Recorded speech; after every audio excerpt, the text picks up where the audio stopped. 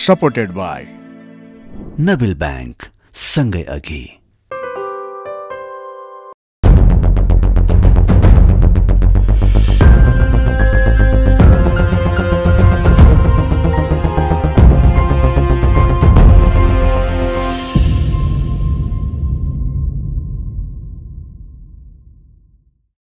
नमस्कार जनता जनार्दनको अर्को श्रृङ्खला लिएर उपस्थित भएको छु। दर्शकहरू जति नै कमाउनुहोस् जमाउनुहोस् जाने खाली हात नै हो। अनि अन्तिममा चाहिने चार हात जमिन मात्र हो।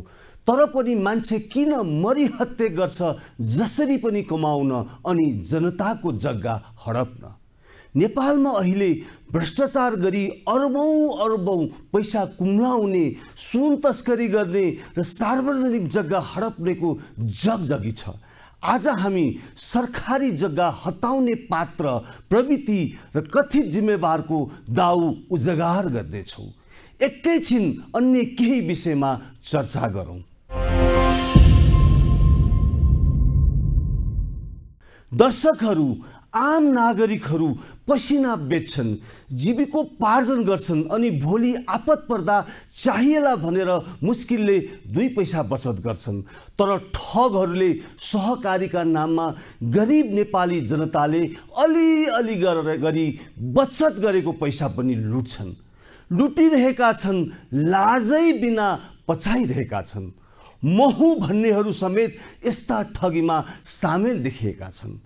अहिले ट्रेडिङमा रहेको सहकारी ठगी काण्डमा जीवी राई लगायतले सर्वसाधारण नागरिकको अरबौँ बचत ठगी गरेको देखिएको छ।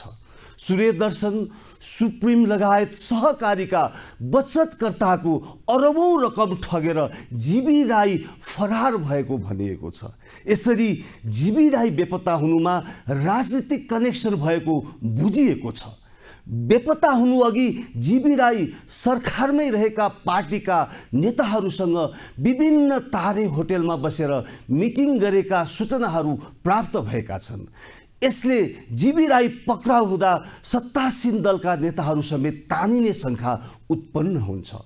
म आफ्नै उन्तिस वर्षको प्रहरी सेवा अनुभवलाई साक्षी राखेर भन्छु यदि नेपाल प्रहरीलाई कहीँ कतैबाट कुनै हस्तक्षेप र दबाब नआउने हो भने फरार भनिएका जीवी राईलाई दुई दिनमै हिरासतमा हाल्न सक्षम छ नेपाल प्रहरी। कुनै पनि नाममा ठगी गर्ने कसैले पनि छुटकारा पाउनु हुँदैन। पीडित बचतकर्ताले आफ्नो रकम जसरी पनि फिर्ता पाउनुपर्छ। सहकारी ठगी काण्डमा ग्यालेक्सी टेलिभिजनको नाम पनि जोडिएको छ। ग्यालेक्सी टिभीमा त्यति बेला रवि लामी छानेले सञ्चालक समिति सदस्य तथा प्रबन्ध निर्देशक रहेका प्रमाणहरू आइरहेका छन्। हाल राष्ट्रिय स्वतन्त्र पार्टीका सभापति रहेका रवि लामी छानेमाथि पनि छानबिन गर्नुपर्ने देखिन्छ।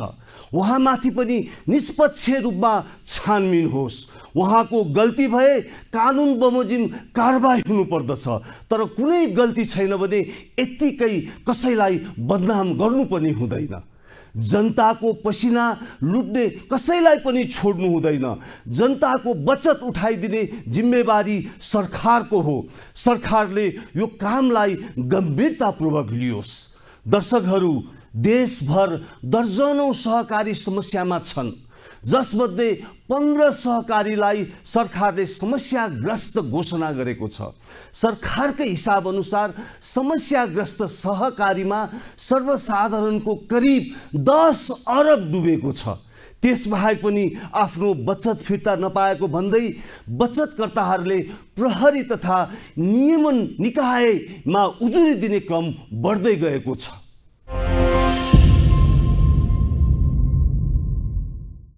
दर्शकहरू म पर्सामा कार्यरत रहँदा आफ्नो जिल्लाको वस्तुस्थिति बुझ्नको लागि विकट गाविसमा घुम्दै थिएँ।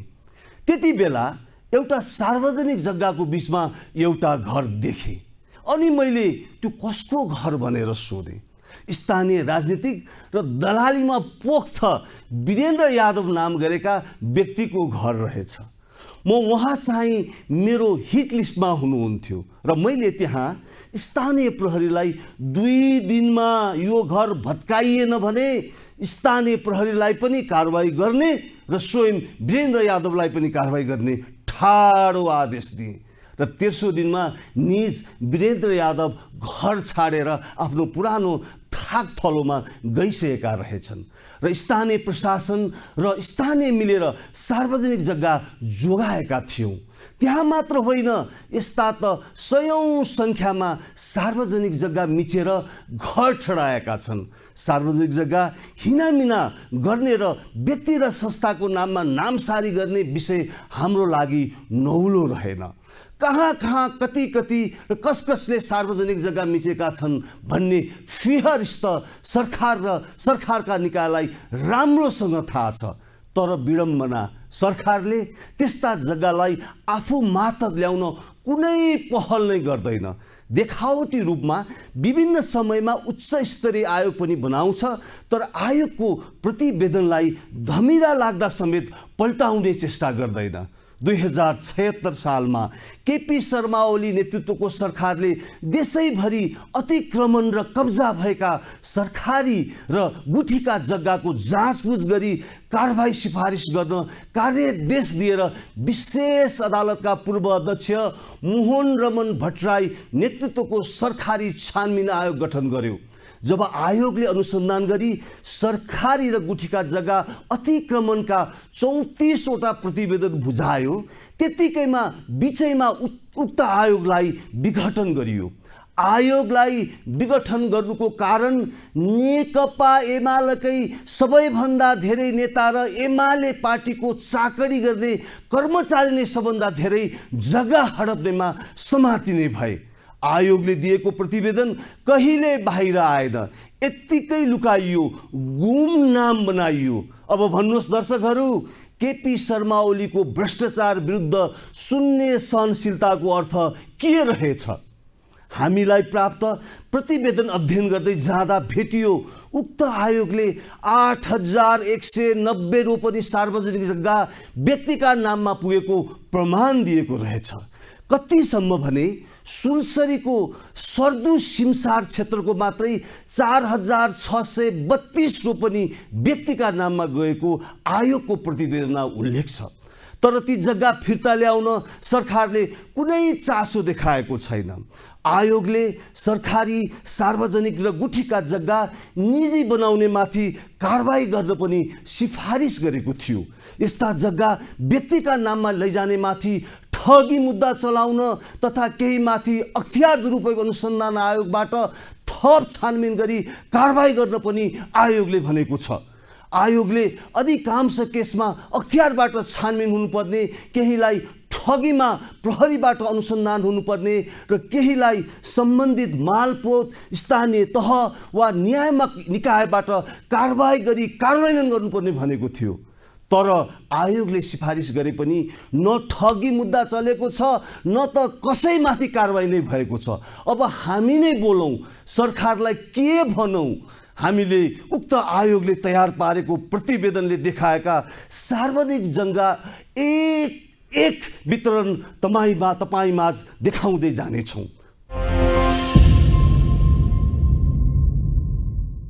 अब आजको मूल विषय दर्शकहरू सार्क स्थापना भए पश्चात आजभन्दा अडतिस वर्ष पहिले तत्कालीन राजा वीरेन्द्र मालदिप्स भ्रमण गर्न गएका बेला मालदिप्सका तत्कालीन राष्ट्रपति गयुमले मालदिप्सको राजधानी माले नजिकै एउटा टापु वीरेन्द्रलाई उपहार दिएका थिए। राजा वीरेन्द्रले उक्त जग्गा आफ्नो नाममा राख्ने कुरा भएन त्यसैले उनले विनोद चौधरीका नाममा राखे।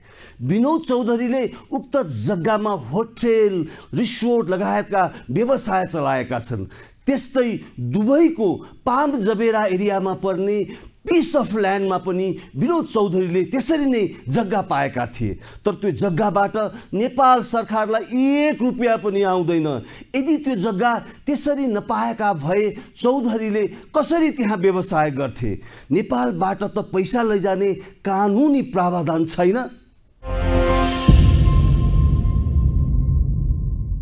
एउटा कुरा के भने सारको फाउन्डरकोमा पूर्व राजा वीरेन्द्र सारको फाउन्डर थियो र सारको फाउन्डर मालदिप्सको राष्ट्रपति गयुम पनि थियो। मालदिप्स टापु टापु भएको देश हो सात सय त्रिपन्नभन्दा बढी टापु छ।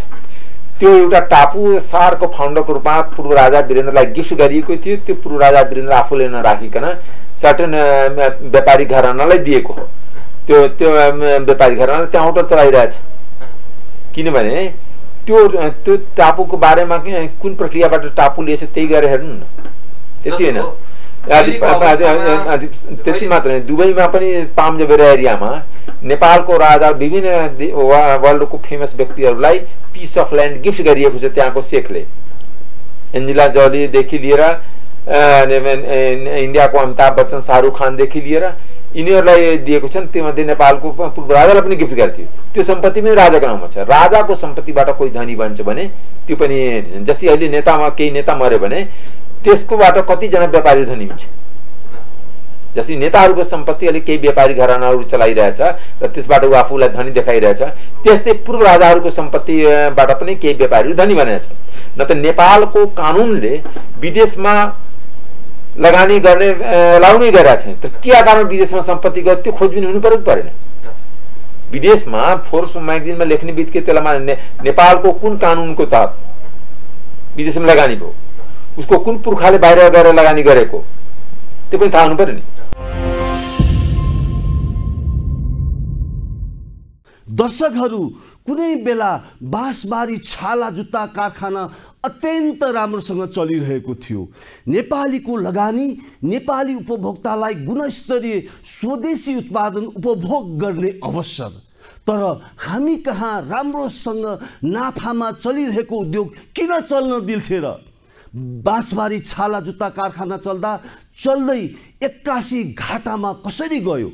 राम्रैसँग चलिरहेको कम्पनीलाई नियतवश घाटामा लगियो। त्यसो गर्नुको प्रमुख नियत कम्पनीलाई समाप्त गरेर त्यहाँको जग्गा माफियाको नाममा दिने र नेता कर्मचारी मिलेर करोडौँ कमिसन खाने। अब छर्लङ्ग भइसकेको छ। भूमाफियाले आफ्नो स्वार्थ सिद्धका लागि कसरी चल्दाको चल्दैको सरकारी कारखानालाई पनि घाटातिर लैजाँदा रहेछन् भन्ने उदाहरण बनेको छ बाँसबारी छाला जुत्ता कारखाना।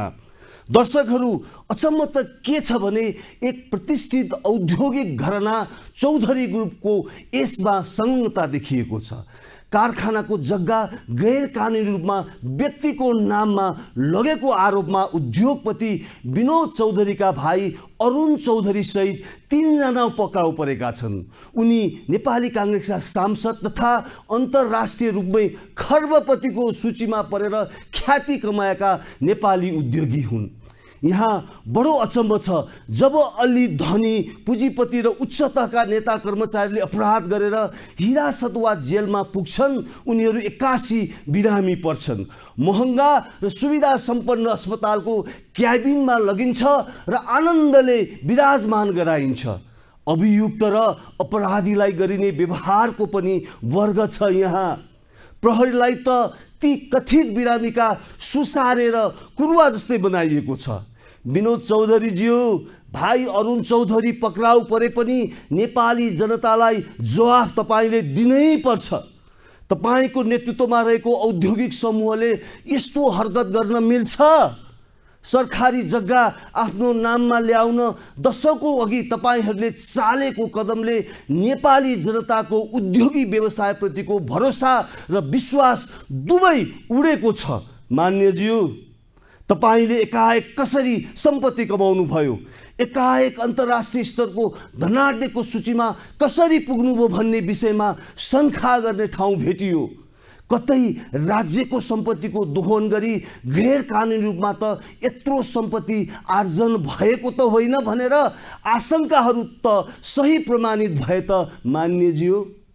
अब यस्तो अवस्थामा राज्यलाई सहयोग गर्नुहोस् कानुनलाई सहयोग गर्नुहोस् अनुसन्धान र कानुनी प्रक्रियालाई अगाडि बढ्न दिनुहोस् तर अलिअलि राजनीतिक शक्ति र देश र जनतालाई भ्रममा राखेर राज्य व्यवस्थाको कमजोरीको फाइदा उठाएर कमाएको पैसाको आडमा सरकारलाई दबाब दिन र प्रभावमा पार्न बन्द गर्नुहोस्। कानुनले नै छुट्याउने छ दुधको दुध पानीको पानी। दर्शकहरू बाँसबारी जुत्था छाला जुत्ता उद्योगको करिब दस रोपनी जग्गा कसरी व्यक्तिको नाममा गयो? अनि सरकारी जग्गाको अपचलन अन्त कहाँ कहाँ कसरी भएको छ त? हेरौँ यो रिपोर्टमा।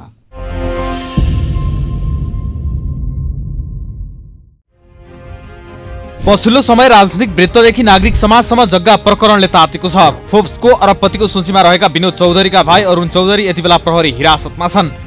सत्ताइस वर्ष अगाडि नै बाँसबारीको सरकारी जग्गा आफ्नो नाममा बनाएका उनीमाथि प्रहरीले कानुनी कारवाहीको प्रक्रिया अगाडि बढाएको छ।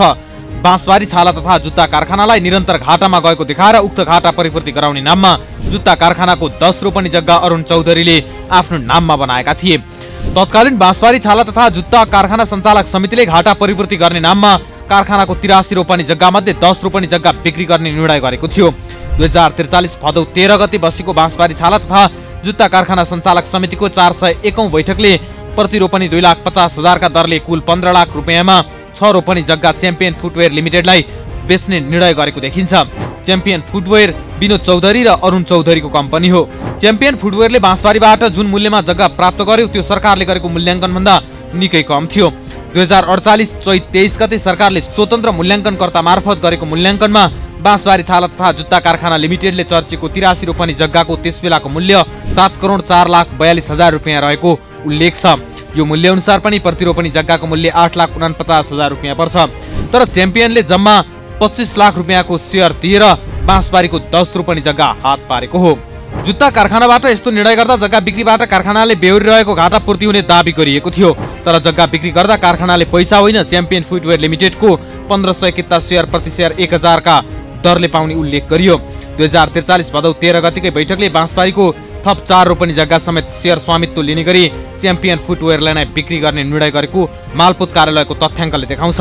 उक्त चार रोपनी जग्गा पनि प्रतिरोपनी दुई लाख पचास हजारकै दरले जम्मा दस लाख रुपियाँमा च्याम्पियनलाई बिक्री गरेर प्रति सेयर एक हजारका दरले एक हजार किता सेयर जुत्ता कारखानाले प्राप्त गरेको थियो। तत्कालीन दरबार र पञ्चायतको राजनीतिक नेतृत्वसँगको निकटताकै आधारमा चौधरी ग्रुपले त्यसबेला बाँसबारीको जग्गा कौडीको भाउमा हात पारेको बुझिएको छ। च्याम्पियन फुटवेयरलाई दस रुपनी जग्गा दिएर सेयर लिने निर्णय गर्दा बाँसबारी छाला तथा जुत्ता कारखाना लिमिटेडका कार्यकारी प्रमुख रहेका अजित नारायण सिंह थापा पनि अहिले पक्राउ परेका छन्।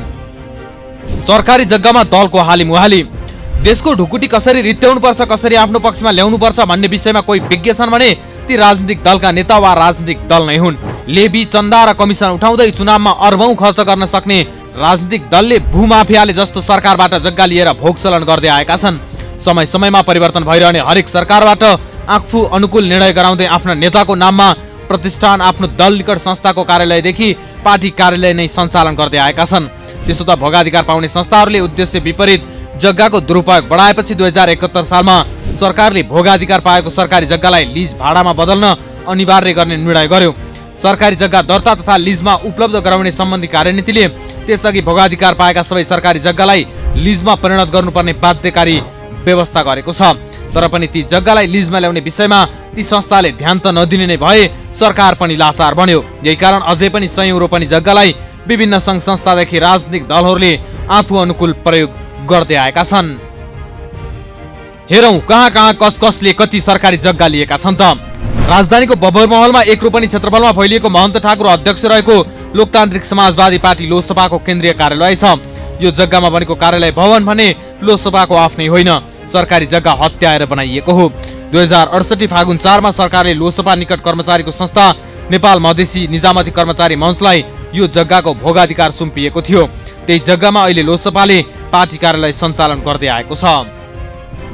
नेकपा एमाले पनि सरकारी जग्गामा पार्टी कार्यालय चलाउँदै आएको छ। दुई हजार अन्ठाउन्न फागुनमा मन्त्री परिषद बैठकले तुलसीलाल स्मृति प्रतिष्ठानलाई च्यासलको कित्ता नम्बर एक सय उन्चालिसको बाह्र रोपनी छाना पाँच पैसा जग्गाको भोगाधिकार दिने निर्णय गरेको थियो।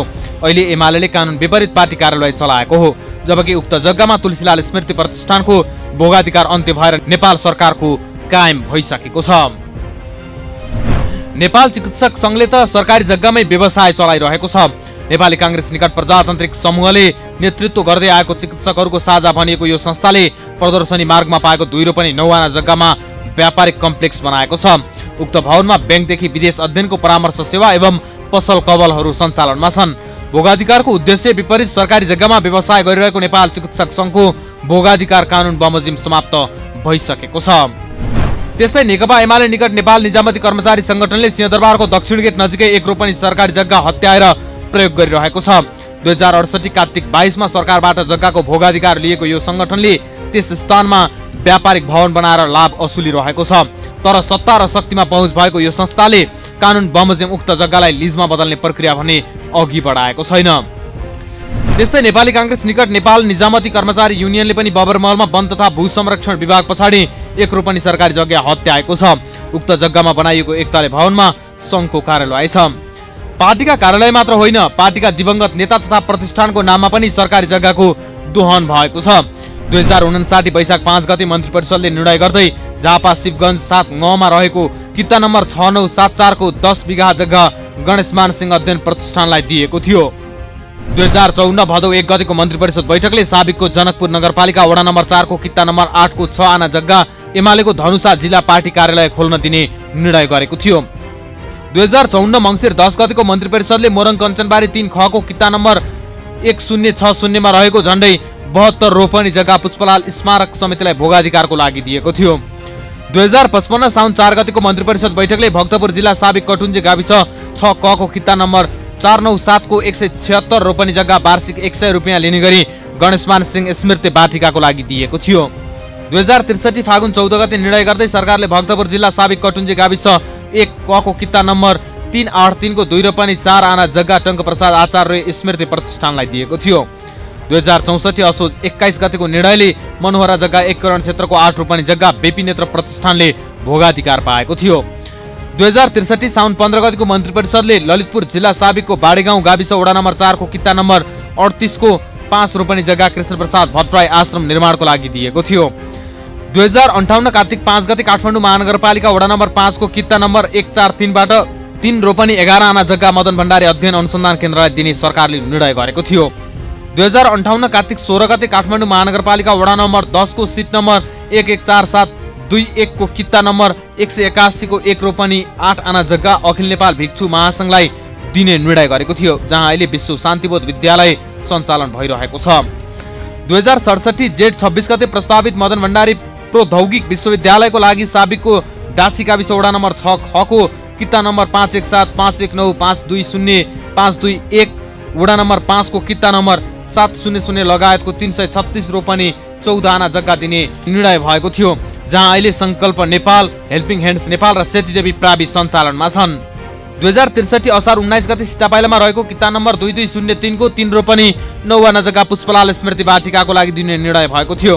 त्यस्तै पुष्पलाल स्मृति प्रतिष्ठानको लागि मत्स्यगाउँ दुई गको किता नम्बर चौरानब्बेको एक सय चौबिस रोपनी जग्गा चिल्ड्रेन पार्क तथा मेडिकल कलेज निर्माणको लागि दिइएको थियो। दुई हजार छप्पन्न मङ्सिर सत्र गति मदन भण्डारी अनुसन्धान केन्द्रको लागि काठमाडौँ महानगरपालिका वडा नम्बर दसमा रहेका विभिन्न किताबाट तिन रोपनी जग्गा उपलब्ध गराउने निर्णय भएको थियो। दुई हजार छैसठी भदौ र दुई हजार सडसठी वैशाखमा गरेर मदन भण्डारी फाउन्डेसनको लागि साबिकको डाँची र बालुवा गाविसमा रहेका विभिन्न कितामा रहेको चार सय पच्चिस रोपनी जग्गा दिने निर्णय भएको थियो। भूमि व्यवस्था सहकारी तथा गरिबी निवारण मन्त्रालयले दुई हजार उनासी असार तेइसमा सरकारी जग्गा दर्ता उपयोग तथा लिजमा उपलब्ध गराउने सम्बन्धी कार्यनीति दुई हजार उनासी राजपत्रमा प्रकाशित गरेर भोगाधिकार पाएको सरकारी जग्गालाई तोकिएको प्रक्रिया बमोजिम लिजमा परिवर्तन नगर्ने संस्था र निकायको भोगाधिकार स्वत समाप्त भएको किटान गरेको छ। यस्तो जग्गामा बनेका संरचना समेत स्वयं नेपाल सरकारको हुने कानुनी व्यवस्था छ। तर त्यसलाई कार्यान्वयन गर्ने विषयमा भने कसैको ध्यान पुगेको छैन।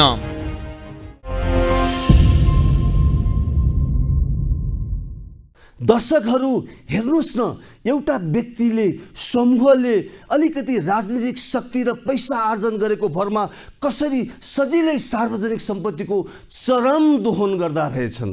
राज्य किन यति कमजोर? सरकार किन यति कमजोर? राजनीतिज्ञ कर्मचारी उद्योग व्यवसायी सबका सब किन यति लोभी पापी? हेर्नुहोस् त सरकारी जग्गामाथिको गिद्धे नजरको श्रृङ्खला। ललिता निवास गिरिबन्धु सर्दु खोला बाँसबारी। यस्ता काण्ड उल्लेख गर्ने हो भने लिस्ट लामै हुन जान्छ। प्रधानमन्त्रीज्यू तपाईँ यति बेला चौधरी ग्रुपको शक्तिबाट प्रभावित हुने होइन। कानुनअनुसार कारवाही प्रक्रिया अगाडि बढाउनुहोस्। कुनै शक्तिबाट नडराउनुहोस्। याद राख्नुहोस् तपाईँ यो देशको सबैभन्दा शक्तिशाली व्यक्ति हो। तपाईँ कार्यकारी प्रधानमन्त्री हो कानुनी शासन र सुशासन कायम गर्न तपाईँसँग ठुलो अधिकार छ। यसको दुरुपयोग नगर्नुहोस् अन्यथा तपाईँले जनताको शक्तिको सामना गर्नुपर्नेछ। यसबारे आम जनतासँग हामीले कुराकानी गरेका छौँ। प्रस्तुत छ जनता जनार्दनका कुरा। यो माफियाहरूको जुन एउटा सेटिङ भइरहेछ यसलाई त हामीले ब्रेक गर्नुपर्ने बेला आएन र? हो तर कुरा कस्तो कस्तो छ भने यिनीहरूको यो सञ्जाललाई भत्काउनुको लागि नीति नै सबभन्दा मुख्य कुरा हो। अब नीति बनाउने मान्छेहरू पनि यिनै छन्। होइन नेताहरू छन् यो राज्य छ सरकार छ। त्यसमा पनि सबभन्दा मुख्य कुरा चाहिँ जनता नै सचेत हुनुपर्ने हो। जनता सचेत भयो भने चाहिँ त्यो चेतनाको लेभल बढ्थ्यो। अब यो मोह पनि कस्तो भएको भने यो करोडपतिलाई झन् क- अरबपति भन्ने मोह चल्या छ होइन यहाँ चाहिँ सामाजिक सेवा र यो मानव सेवा भन्ने कुरा चाहिँ यो नियतको इन्टेन्सनकै कुरा हो। मुख्य कुरा इन्टेन्सन यदि सही भइदियो भने त सबैले आफ्नो व्यापार गर्ने निजी सम्पत्ति कमाउने अधिकार त सबैलाई छ।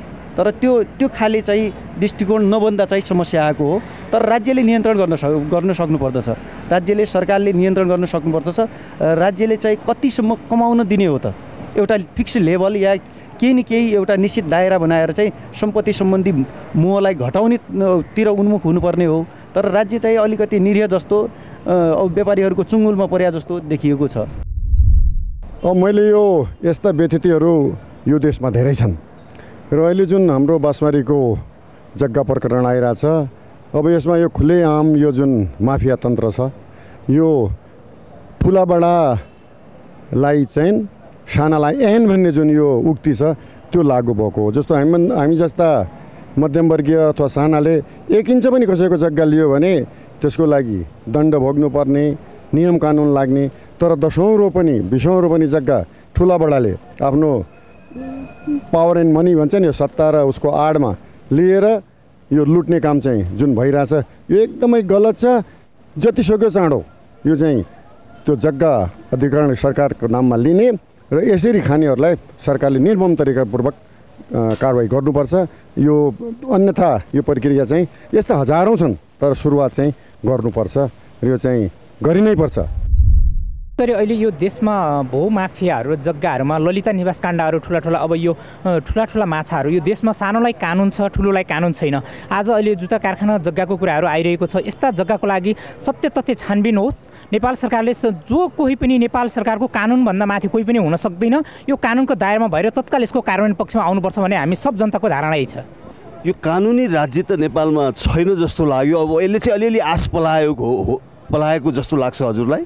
अब यो पछिल्लो पिरियडमा धेरै काण्डहरू तर आश त पलाए जस्तै हुन्छ। तर आश पलाउँदा पनि फेरि मरेको अवस्था आउँछ। फाइलहरू खोलिन्छ कसै राजनीतिक दबावका हिसाबले नेपाल सरकार कानुनभन्दा माथि फेरि राजनीतिक दलहरूले कानुन चलाइएको अवस्था र फेरि ती मान्छेहरूले नै घोटाला गरिरहेको अवस्थाले गर्दा देशमा कानुन कार्यान्वयन हुन सकेको अवस्था छैन। यसलाई सबै साथीहरू देश देश बस्ती बस्तीबाट उठेर कानुन एक ढिक्कामा कार्यान्वयन गर्ने तयारमा हामी उड्नुपर्छ भन्ने लाग्छ मलाई। अब यो सार्वजनिक जग्गा भनेको ललिता निवास देखि लिएर हरेक सार्वजनिक जग्गाहरूमा चाहिँ एउटा अधिकरणको विषय भइरहेको छ। त्यस्ता अधिकरणको जग्गालाई चाहिँ कसरी हुन्छ राज्यले आफ्नो कब्जामा लिएर त्यसलाई नीतिगत रूपमा नै राज्यको ढुकुटीमा भित्ला भित्र्याउनु पर्छ जस्तो लाग्छ मेरो विचारमा है। दर्शकहरू यो सरकारलाई कसरी सरकार जोगाउने भन्ने थाहा छ? नेताहरूलाई कस्तो सरकार बनाउने अनि कसरी भत्काउने भन्ने पनि थाहा छ। तर सरकारी सम्पत्ति जोगाउने बारे ध्यान छैन। राजनीतिक समीकरणको जोड घटाउमा अल्झिरहने राजनीतिक दल र तिनका नेता अनि त्यही आधारमा बनेको सरकारलाई सार्वजनिक सम्पत्ति के के कहाँ कहाँ छन् भन्ने पनि थाहा छैन सायद। होस् पनि कसरी। सार्वजनिक सम्पत्तिको रक्षा होइन सार्वजनिक सम्पत्ति कब्जा गर्नेहरूलाई बचाउन लागि पर्छ सरकार। कानुनको उल्लङ्घन कसरी गर्छन् माफियाहरू? सार्वजनिक जग्गा सम्पत्ति कब्जा गर्ने र कानुन उल्लङ्घन गरी तिनलाई सघाउनेहरू विरुद्ध कस्तो कारवाही हुन्छ? यसबारे ओली सरकारका पालियामा प्रधानमन्त्रीका कानुनी सल्लाहकार समेत रहिसक्नुभएका वरिष्ठ अधिवक्ता बाबुराम दाहालसँग कुराकानी गरेका छौँ। अ, सर स्वागत छ यहाँलाई। धन्यवाद। अहिले यो जुन सार्वजनिक विषय सार्वजनिक जग्गाको विषय जसरी आइरहेको छ र जसरी मिसिरहेका छन् कानुनमा कहाँनिर कमजोरी छ जसको कारणले गर्दाखेरि देशभरका हजारौँ रोपनीहरू सार्वजनिक जग्गा चाहिँ व्यक्ति वा संस्थाको नाममा दर्ता भएका छन्। अब हेर्नुहोस् यो जग्गा चाहिँ सुरुदेखि नै परापर्व कालदेखि मान्छेको नाउँमा थिएन हो तराईमा तपाईँको सालको रुखहरू पुरै काटेर जसले धेरै फडानी गर्न सक्छ त्यसको नाउँमा जग्गा दर्ता भएको छ। है? त्यो चाहिँ नि हाम्रो बा लेभलमै मेरो फादर लेभल भनौँ न। त्यो त्यो बेलामै। जग्गा नाम्चा चाहिँ दुई हजार एक्काइसमा आयो दुई हजार उन्नाइसमा आयो। त त्योभन्दा पहिलेदेखि चाहिँ तपाईँको यसै गरी हुँदै आएको थियो होइन? अनि त्यसलाई निरन्तर रूपमा के गरियो त पछि भने जब नेपाल सरकारको नाममा जग्गा दर्ता गर्ने प्रोसेस पनि थिएन पहिला नेपाल सरकारको नाममा त्यो जग्गा दर्ता हुँदैन थियो। व्यक्तिको नाममा जति गयो गयो अरू जग्गा चाहिँ प्रतिको रूपमा रहन्थ्यो। अनि मान्छेले त्यसलाई विभिन्न तरिका अप्नाएर हगि विभिन्न तरिका अप्नाएर जस्तो यो खाली जग्गा देख्ने बित्तिकै मैले तपाईँलाई मुद्दा हाल्ने यो मेरो जग्गा हो यसले गर्यो भनेर। अनि तपाईँले यो मेरो जग्गा हो यसलाई दिन्न भन्ने प्रति वाद प्रतिवाद गर्ने तपाईँहरूमा मिलापत्र गरेर अनि मेरो नाममा जग्गा दर्ता गर्ने अनि तपाईँलाई आदि दिने। त्यसरी पनि जग्गा आफ्नो नाममा गरिएको छ। एकदम सुन्दर नाटक जस्तो लाग्छ तर यसरी पनि गरिएको छ। होइन? अब सार्वजनिक जग्गाहरू भनेको चाहिँ अहिलेसम्मको मान्छेको कन्सेप्ट के भने यो सार्वजनिक जग्गा हो यसलाई जे गरे पनि हुन्छ यसलाई जति खाए पनि हुन्छ जति मेरा नाममा गरे पनि हुन्छ भन्ने हाम्रा शासकहरू जो पदमा गएका छन् उनीहरूको मानसिकता त्यस्तो रह्यो। रह्यो। त्यो रहेको कारणले गर्दा उनीहरूले अनेक हतकण्ठा अप्नाएर भन्नुहोस् न त्यतिखेरको अब पञ्चायतकाल थियो भने प्रधान पञ्चको सिफारिस त्यसपछि चाहिँ नि बहुदल काल आएपछि गाउँपालिकाको अध्यक्षको अथवा वडा अध्यक्षको सिफारिस होइन? अनि जस्तो चाहिँ नि मालपोत ऐनअनुसार के भन्छ भने छुट जग्गा दर्ता हुनसक्छ भन्छ। हुनसक्छ भन्छ होइन? त्यसमा पनि कृत्य गरेर विभिन्न सात नम्बर फाँटबारीहरू तपाईँको चाहिँ नि फिल्ड बुकहरू कृत्य गरेर अनेक तरिका अप्नाएर चाहिँ तपाईँको आफ्नो नाममा जग्गाहरू दर्ता गरिएको छ। खास कानुनी रूप चाहिँ त्यही नै देखियो।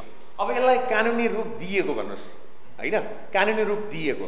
अब यसलाई चाहिँ तपाईँको राम्रोसँग तपाईँको छानबिन गरेर हेर्ने हो भने मलाई लाग्छ अहिले जति जति राज्यले तपाईँको हेर्न खोजिरहेछ यो चाहिँ त तपाईँको पोइन्टमा आउँछ। एक पर्सेन्ट पनि भएको छैन जस्तो लाग्छ मलाई। यति धेरै सरकारी जग्गा मान्छेले कब्जा गरेर आफ्नो नाममा गरेका छन्। जस्तो यसमा चाहिँ यो कानुनी छिद्रता मात्र हो अथवा नियत बस नै यो प्रकारको जालजेल गरिन्छ अथवा सो अनुसारका नीतिहरू बनाइन्छ के हो नि खास यसमा? कानुनको छिद्र र नियत दुइटै हो। कानुनको छिद्र प्रयोग गरेर नियतवश गरिएको काम हो यो। हेर्नु प्रत्येक मान्छेलाई थाहा छ मैले यो सरकारी जग्गा अथवा सार्वजनिक जग्गा मिचिया छु भन्ने कुरा प्रत्येक मिच्ने मान्छेलाई थाहा छ हेर्नुहोस्। है तपाईँ काठमाडौँमै हेर्न जानुहुन्छ भने कस्तो छ भने हालसाविक भन्ने तपाईँले सुन्नुभयो होला। हालसाविक भने के भने मैले मेरो कम्पाउन्ड घेरेर यदि घर राखेको छु भने नयाँ नापी आउँदा मेरो टोटल कम्पाउन्ड उसले नापी गर्छ नापी गर्छ। र त्यो टोटल कम्पाउन्डभरिको जग्गा मेरो नाममा दर्ता गरिदिन्छ होइन? अनि तपाईँको दुई आना जग्गा थपियो नि थपियो नि दुई आना जग्गा भनेर त्यहाँ चाहिँ अन्डर टेबल काम कुरा कारवाहीहरू गरेर मान्छेले चाहिँ नि त्यो आनाका आना थपेर चाहिँ नि आफ्नो नाममा दर्ता गरेका प्रशस्त उदाहरणहरू छ। हगि त्यस कारणले गर्दाखेरि एउटा कस्तो छ भन्नु होला भने जग्गा प्राप्ति कसरी हुन्छ? जग्गा होइन? अचल सम्पत्ति प्राप्ति कसरी हुन्छ भन्दा कब्जाबाट पनि हुन्छ भन्ने एउटा कानुनको हिस्ट्रीमा छ हेर्नुहोस्। कब्जा गरेर पनि हुन्छ। होइन? अब कब्जा गरेर हुन्छ भनेपछि अब अहिलेको जमानामा अर्का जग्गा कब्जा गरेर आफ्नो बनाउनु त सकिँदैन। तर त्यो पनि एउटा कब्जा भयो नि। कम्पाउन्ड चाहिँ ठुलो बनाउने अनि ठुलो कम्पाउन्ड चाहिँ हालसाबिक गर्दाखेरि त्यो कम्पाउन्डभरिको जग्गा चाहिँ नि मेरो नाममा गरिदिन्छ। भनेपछि मान्छेले जानी जानी त्यो कम्पाउन्ड अलिकति पर धकेल्छ कि? धकेल्छ। अझ सार्वजनिक पायो भने त व्यक्तिको हुँदा थोरै धकेल्ला सार्वजनिक पायो भने सट्टै धकेल्छ। अनि त्यसपछि जुन हालसाबिकको सिस्टम छ त्यो सिस्टमले पनि धेरै सार्वजनिक जग्गाहरू मिचिएका छन्। जस्तो अब अहिले खास गरी यो सार्वजनिक जग्गा मिच्ने कुरा गर्दाखेरि जसरी अहिले यो काठमाडौँ महानगरपालिकाभित्र विभिन्न अवैध रूपमा बस्ती बसेका अथवा घरहरू बनेका छन् त्यसलाई चाहिँ काठमाडौँ महानगरपालिकाले निरन्तर रूपमा डोजर लगाएर भत्काउँदै हिँडेको छ। अब जसरी यो सार्वजनिक जग्गा व्यक्ति वा संस्थाको नाममा गइरहेको छ अब त्यसलाई फिर्ता ल्याउनको लागि सरकारको नाममा ल्याउनको लागि उपयुक्त विकल्पहरू के के हुन सक्छन् अब अहिलेसम्मको विकल्प चाहिँ के चलिरहेको थियो भने जस्तो म जहाँ बस्छु त्यो एरियामा सार्वजनिक जग्गा छ। भने हामी चाहिँ नि स्थानीय मान्छेहरू मिलेर यो चाहिँ नि सार्वजनिक जग्गा हो एक्काइस सालको नापी। जस्तो काठमाडौँको उदाहरण म तपाईँलाई दिन्छु। काठमाडौँमा एक्काइस सालमा नापी भएको थियो। एक्काइस सालको नापीमा जुन खोलो भनेर लेखेको थियो नि पर्ती भनेर लेखेको थियो नि जङ्गल भनेर लेखेको थियो नि त्यो सबै जग्गाहरू चाहिँ तपाईँको चाहिँ के छ भने सरकारी जग्गा हो। है? अब त्यहाँ अहिले मान्छेको घरै घर छ। बुझ्नुभयो नि? हो त्यसको छानबिन हुनु पर्यो। र छानबिन गरी सार्वजनिक गरी पाऊँ भनेर जिल्ला अदालतमा मुद्दा हाल्ने गरेका छ एउटा। अर्को चाहिँ नि अख्तियार दुरुपयोग अनुसन्धान आयोगमा यसले चाहिँ यो मालपोत कार्यालयको कर्मचारी मिलेर को को मिलेर यो चाहिँ व्यक्तिको नाममा गरेकोले यसलाई चाहिँ सरकारीकरण गरी पाऊँ भनेर अख्तियारमा मुद्दा हाल्ने गरेका छ होइन? एउटा अदालतको लेभलबाट पनि सार्वजनिक हुने गरेका छ। अर्को अख्तियारले तपाईँको चाहिँ भ्रष्टाचार मुद्दा लगाएर होइन? अथवा यो फिर्ता गर्ने भए गर नभए तँलाई मुद्दा लगाउँछु भनेर पनि मान्छेहरूले गरेका छन्। तर यो कुन हदमा भने जस जुन थाहा छ मान्छेलाई जुन जग्गाको बारेमा थाहा छ थाहा हुने नै हुन्छ। थाहा नहुने त कति लुगाएर राखे होला? यसलाई त तपाईँले कस्तो हुन्छ भन्नु होला भने यो चिज सुरुवात भयो भने मलाई लाग्छ यो त धेरै मान्छेले चाहिँ तपाईँको उसले उसको उसले उसको उसले उसको उजुर बाजुर आदि इत्यादि गर्छन् र महानगरले जुन काम गरिरहेछ त्यो चाहिँ ठिक छ। गर्नुपर्ने त्यही हो। अब अन्तिममा यसरी सार्वजनिक जग्गा कानुनको छिद्र प्रयोग गरेर अथवा नियतवश कब्जा गरेर आफ्नो नाममा गराउने जो दोषीहरू छन् उनीहरूलाई चाहिँ खास के कानुनमा के कारवाही छ? अब कानुनी कारवाही दुई किसिमले हुन्छ। एउटा त्यो जग्गा आफ्नो नाममा गराउँदा के के कृत्य गरेका छ कागजात कृत्य नगरी त हुँदैन। मैले तपाईँलाई सुरुमै भने नापी हुँदाखेरि त्यो प्रति भनिएको छ नापी हुँदा खोलो भनिएको छ नापी हुँदा जङ्गल भनिएको छ अथवा के भनिएको छ होइन? अब त्यो ठाउँ अथवा चाहिँ मसान घाट भनिएको छ पानी पँधेरो भनिएको छ अब तपाईँले त्यो आफ्नो नाममा दर्ता गर्नुभएको छ। अब त्यो पानी पँधेरो मसान घाट अथवा चाहिँ जङ्गल भनेर लेखेको चिजलाई तपाईँको नाउँमा गर्नको लागि त त्यहाँ चाहिँ केही न केही कागजहरू त बनायो होला नि। बनायो होला नि होइन? हो ती कुराहरू कृत्य हुन्। त्यो कृत्यको हदम्याद लाग्दैन। त्यो बेलादेखिको कृत्य गरेको पनि हदम्याद लाग्दैन। एउटा कृत्य हुनसक्छ त्यसको छानबिन गरेर कृत्यमा मुद्दा लगाउने जग्गा फिर्ता गर्ने। एउटा। अर्को चाहिँ तपाईँको तौर तरिका अप्नाएर ठगी गरेर। हेर चाहिँ अब कुनै तरिकाले ठगी गरेर त्यो पैसा खर्च गरेर होइन त्यो बदमासी गरेर आफ्नो नाममा लिएर आएको हुनसक्छ। होइन त्यस कारणले गर्दा कृत्य र ठगी नै सबभन्दा बढी भएको होला भन्ने मलाई लाग्छ। हस् धन्यवाद। धन्यवाद। नेता र कर्मचारी र माफिया मिलेर सरकारी र गुठीको जग्गा कहाँ कहाँ कसरी हडेबेका छन्? यसका केस्रा केस्रा केलाएर अर्को श्रृङ्खलाहरूमा पर्दाफास गर्ने नै छौँ। सरकारी जग्गा लुट्ने पात्रहरू र काण्डहरूको अनुसन्धानमा हाम्रो टिम तल्लीन छ। कार्यक्रम जनता जनार्दन आजलाई यति नै। आउनुहोस्। तपाईँ पनि भ्रष्टाचार विरुद्धको यो महाअभियानमा सहभागी हुनुहोस्। तपाईँसँग भएको सूचना हामीलाई दिनुहोस्। सत्य तथ्यका आधारमा हामी त्यसलाई कार्यक्रममा समावेश गर्नेछौँ। स्क्रिनमा देखिएको नम्बर र वाट्सएप तथा भाइबरमा समेत कल र म्यासेज गरेर सूचना टिपाउन सक्नुहुन्छ। जय जनता जनार्दन।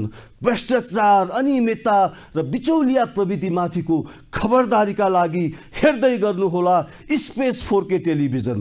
भ्रष्टाचार विरुद्धको महाअभियान जारी छ जारी छ जारी छ। नमस्कार।